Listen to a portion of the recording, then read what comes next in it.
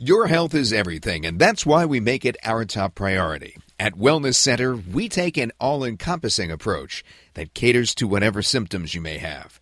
We could look at your dietary and exercise habits and offer professional advice on the best combination of treatments to not only fix most ailments you may have, but also to prevent them.